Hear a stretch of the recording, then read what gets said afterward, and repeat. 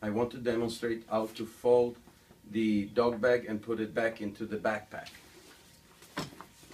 So you, you push one of the four corners inside like this, and push well, and then fold the product as a, as a book, you know, you put it back into its uh, flat position like this, and then you roll, holding one corner pointing into the middle, and you let this metal part round up like this.